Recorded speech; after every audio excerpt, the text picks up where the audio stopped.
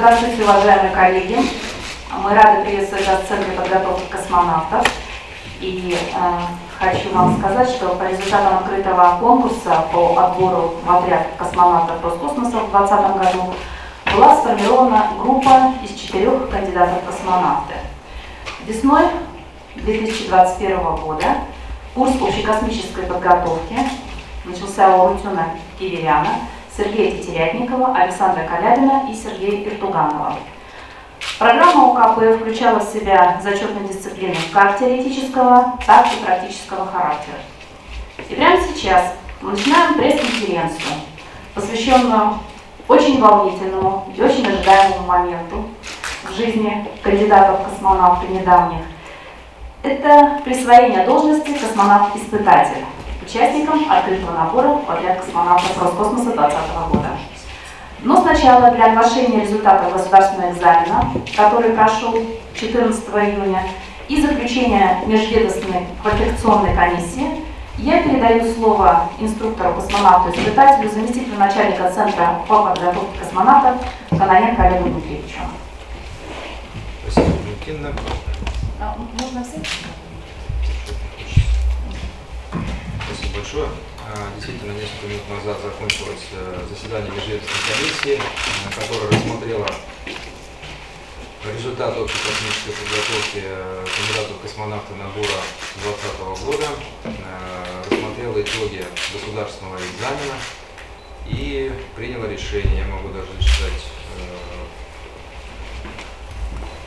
Межведомственная коалиционная комиссия рекомендует присвоить кандидату космонавта Киверяну Галябину Тетерятнику квалификации космонавт-испытатель. Что было и сделано? Я, в принципе, могу сказать их, наверное, результаты оценок. Я не думаю, что это тайна. Нет, это не Значит, Киверян сдал на 4.89, Калябин 4.95 и Терятников 4.76. Результаты высокие, комиссия очень довольна, сотрудники Центра подготовки очень также довольны, отмечают э, высокий уровень э,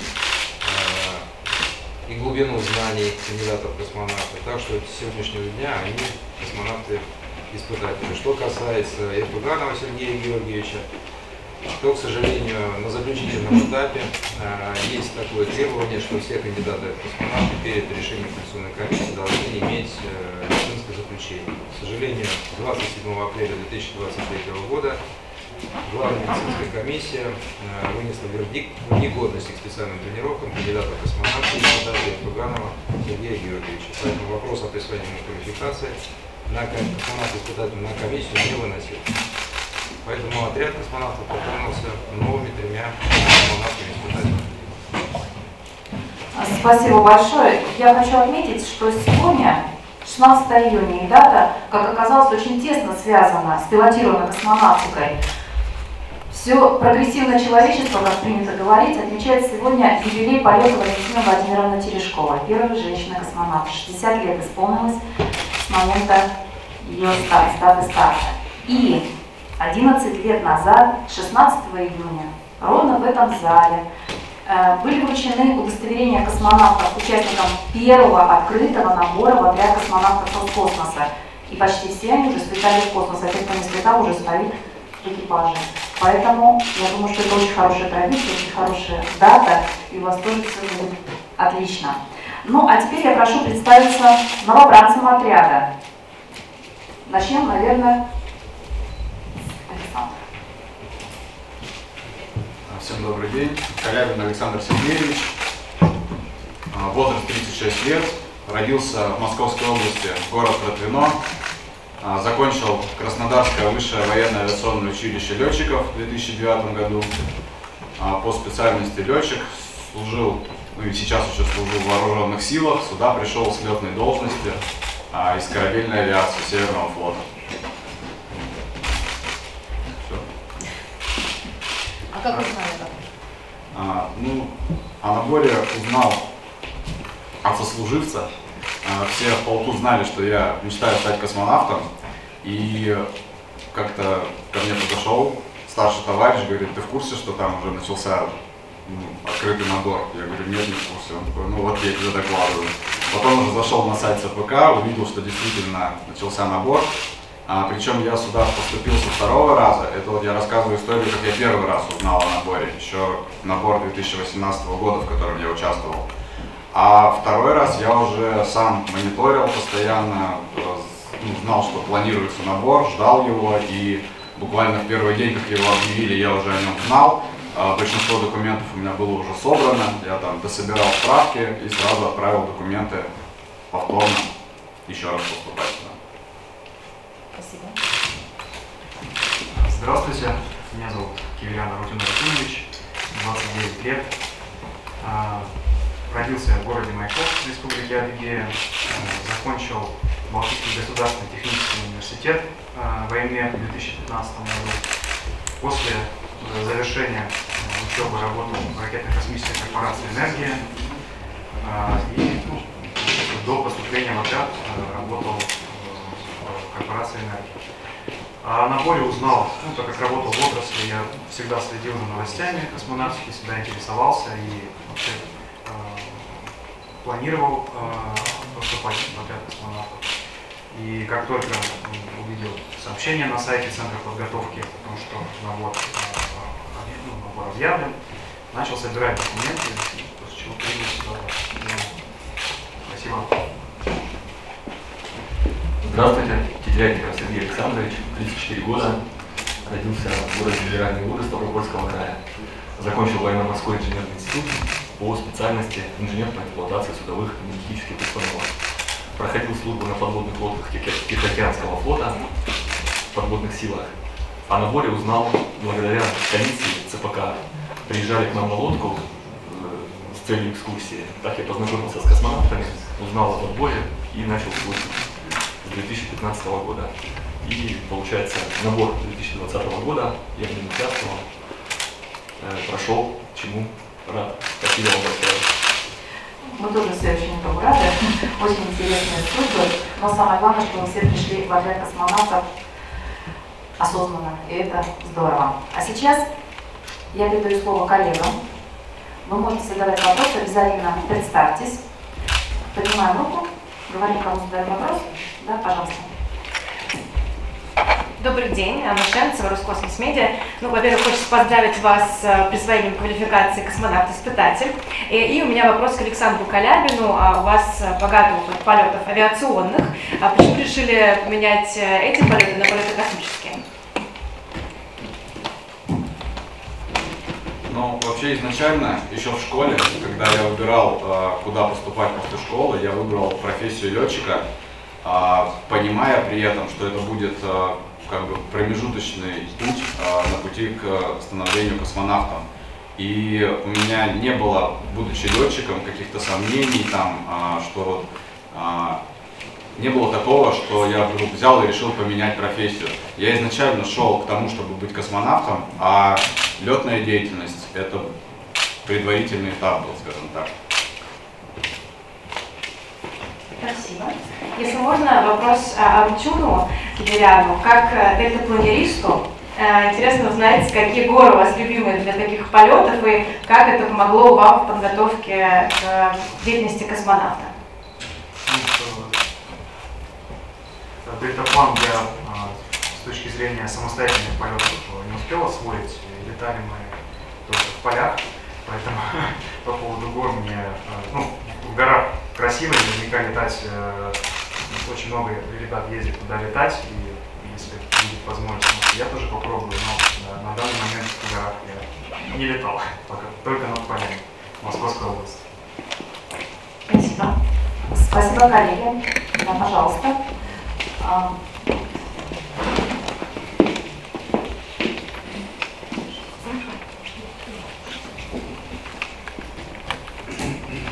Денис Кайран, РИА Новости. Э, Во-первых, присоединяюсь да, к поздравлениям. Э, И вопрос, наверное, хочу задать Олегу Дмитриевичу. Э, Расскажите, пожалуйста, о дальнейших планах, о дальнейшей подготовке трех новых космонавтов-испытателей, как в ближайшее время, так и, наверное, немножко преждевременно задавать э, сейчас так- такой вопрос, но тем не менее, Э, Когда может состояться первое назначение в экипаж, когда первый полет, и учитывая, что подготовка занимает продолжительное время, э, будут ли трое новых космонавтов-испытателей летать на МКС, или же их будут готовить сразу к полету на Рос? Спасибо. Доброго утра, Денис, рад вас видеть. Много времени прошло с нашего крайнего интервью РИА Новости. А, Вы знаете, сейчас э, у нас подписано соглашение о перекрестных полетах, а, то есть будут полеты выполняться не только на кораблях э, серии Союз МС, но также и на SpaceX, где наш космонавт будет присутствовать в обязательном порядке. Поэтому я думаю, что э, срок пройдет для них э, не такой большой, как для предыдущих наборов. Э, После окончания общей космической подготовки идет этап совершенствования э, знаний, изучения, более глубокого изучения систем российского сегмента и корабля, так называемая группа специализации. Вот. э, Бывает, э, что иногда людям везет, космонавтам, и они назначаются в экипаж, не пройдя полный курс в этой группе. Но, как правило, все-таки здесь космонавты останавливаются года на два, полностью сдают экзамены по системам транспортного корабля и станции, после чего они уже назначаются в экипаже. Я думаю, что сейчас мы официально продлили свое участие в программе МКС до 2028 года, поэтому у них есть все шансы свой первый космический полет совершить на станцию МКС, либо на корабле «Союз», либо на SpaceX. На данный момент э, экипажи э, готовы тренируются э, по 24 год включительно, поэтому я думаю, что, наверное, ну, не хочется гадать на кофейной гуще, но, наверное, уже с 26 года вы их фамилию слышали в составах экипажа. Спасибо большое, коллеги. Корреспондент ТАСС Илья Смирнов. А, Я хотел бы задать вот новоспеченным космонавтам-испытателям вопрос. А, Сегодня, да, как Ирина Жильевна отметила, исполняется 60 лет с полета в космос э, Валентине Терешковой. А, Хотели бы вы, чтобы женщин на орбите было больше?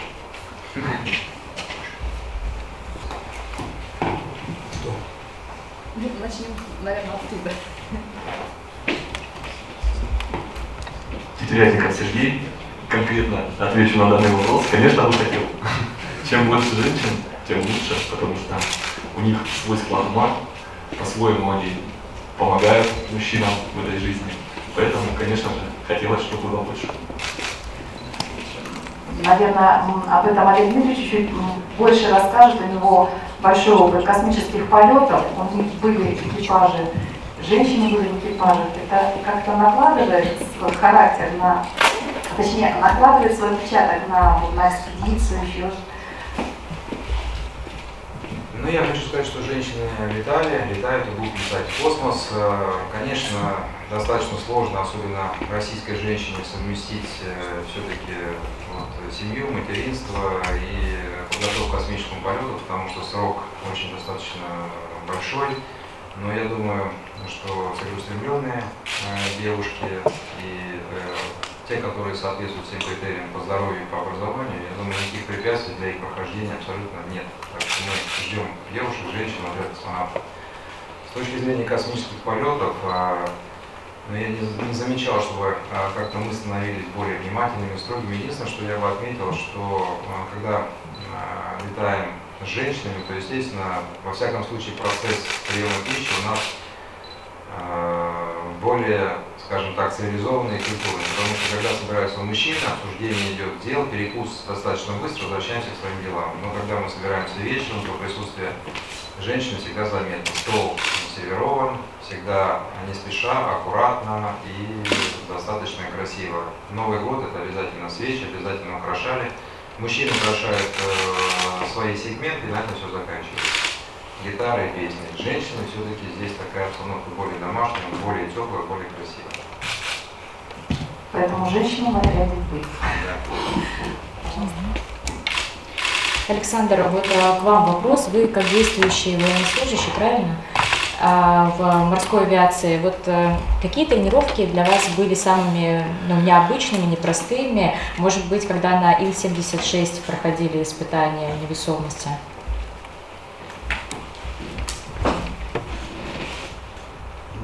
Для меня многие тренировки были необычными, интересными. А выживания, которые здесь проводятся, они гораздо интереснее, чем те, которые проводились а, в вооруженных силах. А, сам формат, то есть вот здесь это зимнее выживание, например, это три дня абсолютно автономного там, существования на тех ресурсах, которые есть в корабле. А в авиации а, такие же есть а, тренировки по выживанию, но они длятся несколько часов, там 4 часа, 5 часов практическое занятие, то есть мы там тоже применяем все эти средства. Конечно, здесь это гораздо интереснее, то есть э, в лесу три дня наедине с природой и с тем, что у тебя есть из спускаемого аппарата, конечно, ну, вовлекаешься в эту деятельность, э, очень интересно. По полетам, а, да, э, полеты на невесомость – это необычное ощущение. А, будучи в истребителе, тоже возникают около нулевые перегрузки порой, но там ты пристегнут к креслу, притянут привязной системой, и нет такого ощущения вот, полета, свободного падения. То есть э, ощущения абсолютно другие при полетах на невесомость, вот именно на самолете лаборатории Ил-76. Сначала непривычно, но у нас было несколько таких тренировок, 10. И вот уже после третьей, четвертой привыкаешь уже начинаешь чувствовать себя как дома.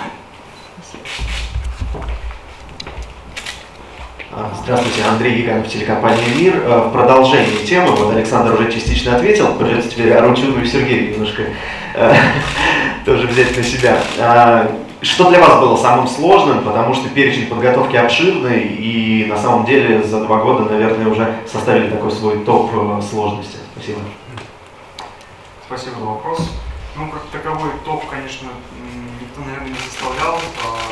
Каждый предмет, что теоретический или по спецтренировкам, он требует э, полной отдачи, концентрации. Э, и ну, в дополнение к тому, что рассказал Александр, скажу, что этапы парашютной подготовки очень такие ответственные и тренируют, так сказать, и волю, и стрессоустойчивость. И недавно были у нас, проходили тренировки в гидролаборатории по внекорабельной деятельности. Э, очень интересный и полезный такой этап, который э, тоже очень запоминающийся. Два этапа, которые могу выделить я, ну и передам слово Сергею. По поводу специальной подготовки, если честно, это самые такие лучшие моменты подготовки, потому что ты всегда находишься в динамике, в движении, изучаешь свой организм, свои нервы, как это все должно проходить. И я для себя очень много нового открыл. Например, прыгнул 45 раз с парашютом, погрузился в ГРЛ, и каждый отдельный этап для меня это был такой маленький шаг, который меня развивал. Мне очень понравились эти моменты. Летная подготовка тоже, да, упомянули. До этого я с авиацией не имел дела. И здесь мы готовились, получается, э, в кабине самолета Л-39 э, на месте второго пилота и учились управлять самолетом. Для нас это такой яркий момент тоже. Э, очень увлекла меня после этого авиация. Спасибо. Коллеги, еще есть вопросы?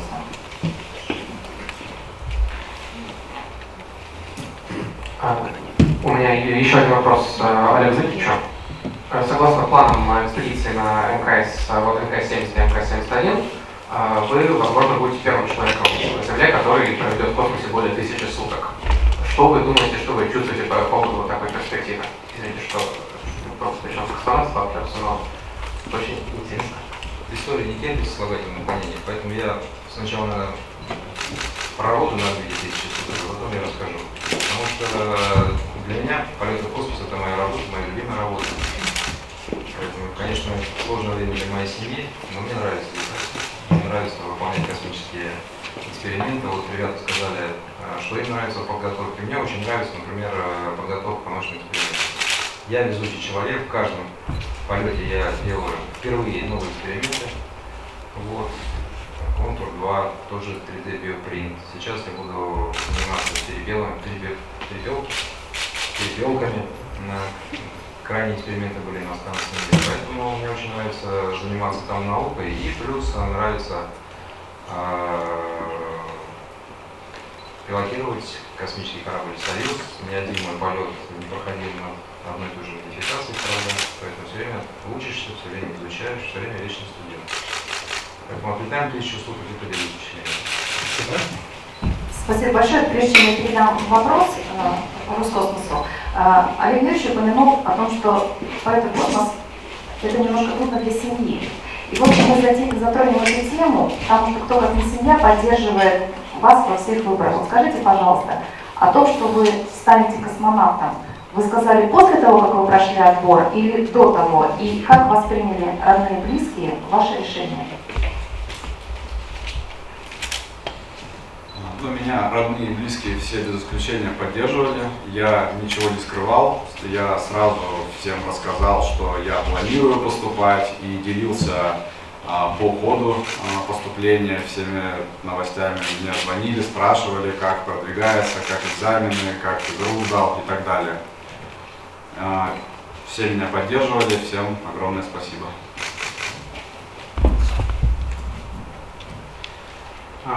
Да, очень интересный вопрос, потому что поддерживали меня тоже и родные, и близкие. Скрывать особо, наверное, смысла не было. Но единственное, я э, какие-то новости говорил уже по тому, когда ну, там, сдал какой-то экзамен, прошел какой-то этап, чтобы уже ну, какой-то какая-то завершенность была. А, вот. И а, тем более не было тоже ну, такой какой-то а, тайны, потому что а, в этот набор я пошел уже второй раз. А, я первый раз проходил в 2018 году. И поэтому э, родные, все близкие, супруга моя, все знали, что я буду проходить. И поддерживали меня. Спасибо им за это большое. У меня все проходило под занавесом тайны. Я сказал родителям, что прошел, прошел отряд космонавтов. Уже когда меня сюда приняли на работу, я поехал в отпуск и сказал, что меняю работу, место службы.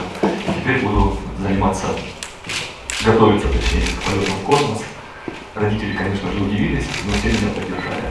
Такая неожиданная новость была для них. Ну, такая приятная новость. Периодически их удивляют. Спасибо. А, пожалуйста.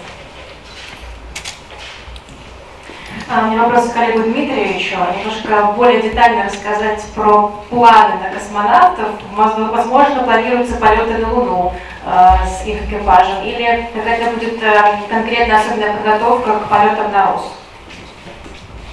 Ну, мы совсем недавно, в прошлой неделе, рассмотрели, вы материалы эскизного проекта на РОС. Там указаны предварительные даты создания российской орбитальной служебной станции. Вот, все. Я надеюсь случится на их э, поколение, на то время, когда они будут активными космонавтами. Поэтому я ничего в этой жизни не исключаю. Я надеюсь, что они еще и свои, я уже говорил, первые полеты совершат на МКС. И уже став опытными космонавтами, полетят на РОС, ну и дальше, по этапам Луна и Марс. Основной поколение конкретных планов? Ну, читайте федеральную космическую программу. Изучим, спасибо. А, и вопрос Аутюну. А, вы рассказали про подготовку к ВКД. А можете подробнее раскрыть, что конкретно вы проходили в тренировках и насколько сложно это было для вас? Сначала у нас была теоретическая подготовка. Сначала мы, в принципе, работали, учились работать под водой. И первые тренировки у нас были в легководолазном снаряжении. После того, как мы прошли цикл тренировок и изучили системы скафандра, э, в котором надо будет работать.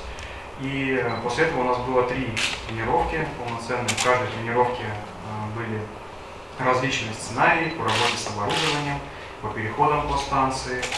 И, в принципе, та теоретическая подготовка, которая была до этого, все, нам все рассказали, как работать, как работать в скафандре, чтобы тратить меньше сил, чтобы выполнить э, все поставленные задачи. Мы этого придерживались, и у всех э, успешно получилось провести тренировки. Было очень интересно и полезно. Спасибо. Спасибо. А, коллеги, а сейчас я перейду к вопросам, э, которые были оставлены в комментариях в социальных, в социальных сетях Центра подготовки космонавтов. Дело в том, что за вами следят те, кто хотят прийти в отряд космонавтов, то есть потенциальные космонавты. Они все ждут открытого набора и задают очень много вопросов. Ну, во-первых, все вас поздравляют, все на вас ориентируются и спрашивают, А, скажите, пожалуйста, когда вы увидели перечень нормативов по физкультуре, вы сразу готовы были сдать все эти нормативы? Или вы к ним тренировали, ну, тренировались, чтобы их сдать, и когда вы почувствовали уверенность, что вы пройдете на ура просто все эти этапы? Когда я увидел перечень нормативов, я понял, что ничего сверхъестественного нет. А, какие-то нормативы, как, например, подтягивания, я, в принципе, уже мог сдать на высший балл. Какие-то, например, бег, а, понимал, что немного надо потренировать. А, первый раз, когда я поступал, я не очень много времени этому уделил, и э, балл по физре у меня был не очень высокий, но тем не менее проходной. А второй раз э, у меня было уже больше времени подготовиться, э, я этим временем воспользовался, и балл по физре э, был гораздо выше во второй раз. А, но в целом все нормативы адекватные, ничего сверхъестественного у них нет. Я думаю, что среднестатистический человек, который просто занимается каким-то спортом для себя, а, он в состоянии сдать их без какой-то особой подготовки дополнительной.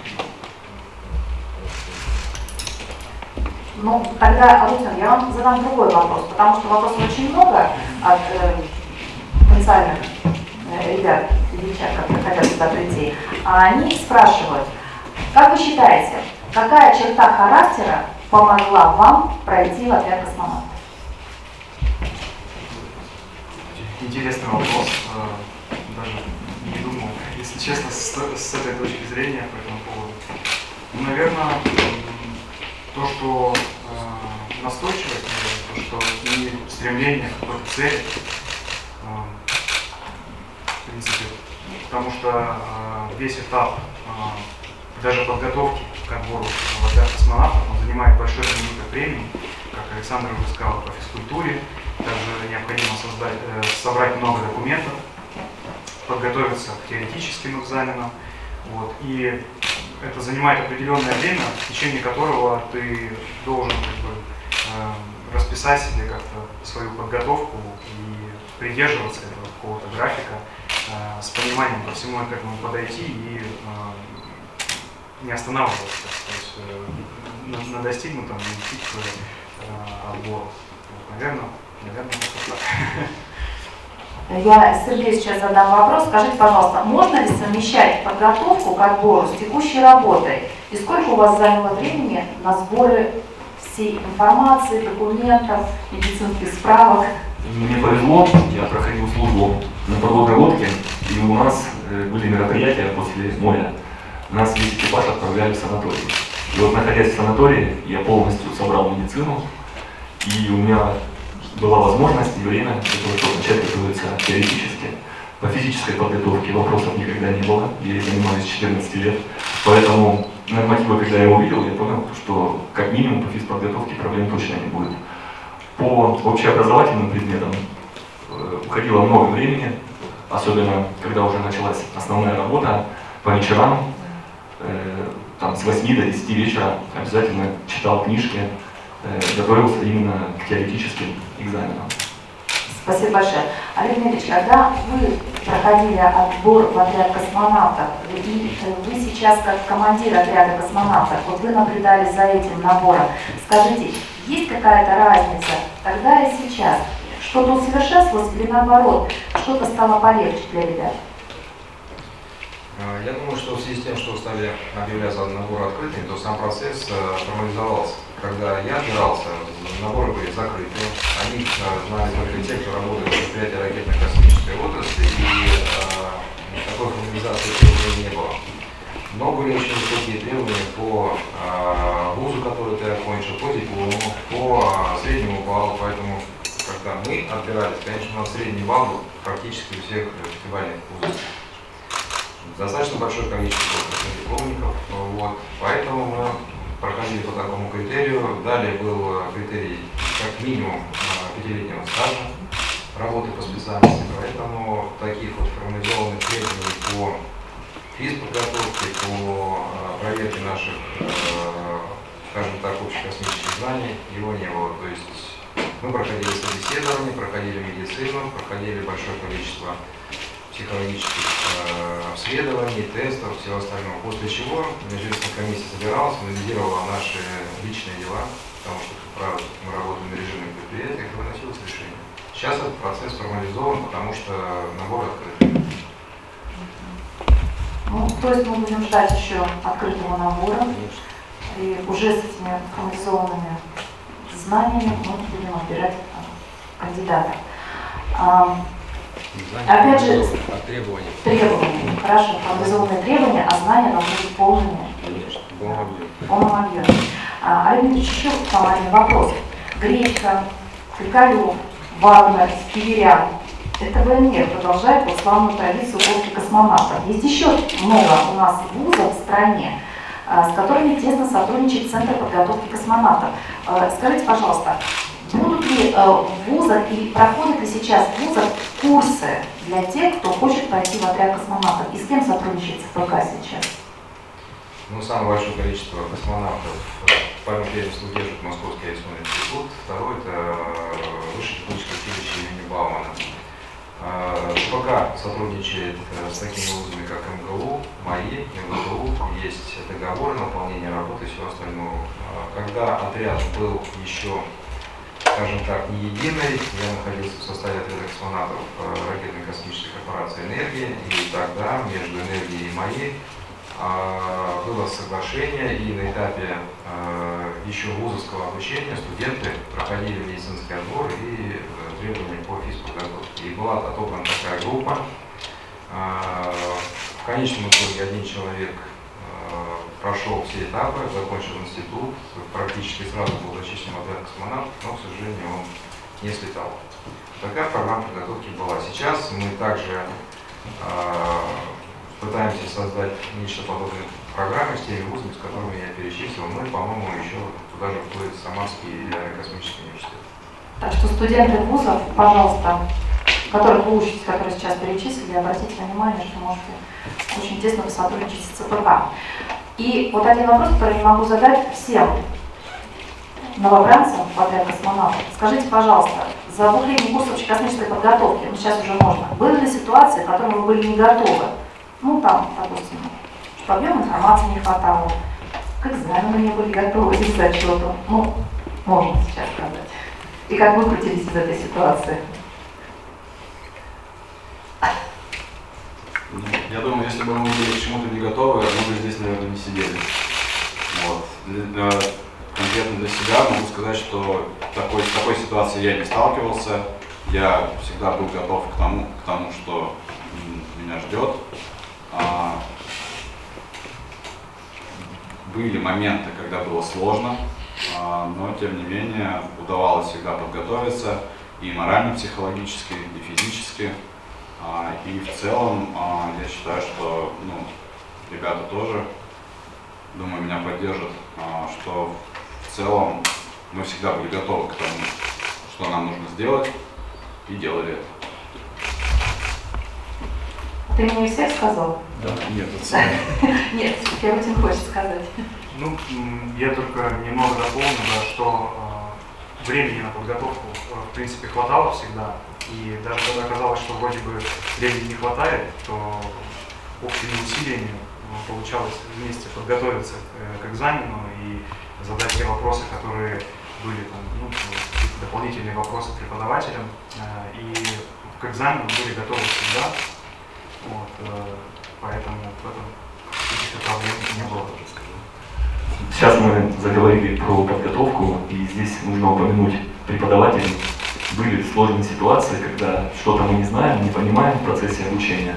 Ну, от всей группы я хочу сказать всем преподавателям, которые нас готовили, большое спасибо. Большое спасибо всем преподавателям. Очень хорошая такая точка. И, Олег Дмитриевич, остается только передать вам слово, чтобы вы пожелали что-то новым членам отряда космонавтов и что-то им посоветовали, как опытный космонавт. Ну, а для меня, если уж говорить, что самое было трудное, с чем я неожиданно для себя столкнулся, это ожидание космического полета. Я не ожидал, что космический полет будет 9 лет. Вот это очень трудно. 9 лет поддерживать э, себя в состоянии готовности к выполнению космического полета э, и технически, и э, поддерживая необходимые критерии, в частности, свое здоровье, это достаточно тяжело. И не растерять на таком длительном промежутке ни желания, ни возможности, ни, вот, не потерять эти критерии соответствия космическому полету. Поэтому я бы хотел пожелать, что дорога была длинной, а, если повезет слетать достаточно быстро, значит повезет, не слетать, значит надо быть готовым к этому и э, надо монотонно работать и достигать поставленных целей. Поэтому удачи. Ну и раз вы пришли в отряд космонавтов, то вы должны слетать просто так. Здесь, конечно, пребывать просто не следует. Надо лететь просто. Спасибо большое. А, Я хочу сказать, что очень много человек следят за вами, за вашим за вашими шагами а, на этой прямой. Мы будем считать, что она будет прямая, будем на это надеяться. И будем следить за успехами, будем радоваться им. Спасибо большое всем, кто был сегодня в зале, спасибо тем, кто выступал. Спасибо и удачи!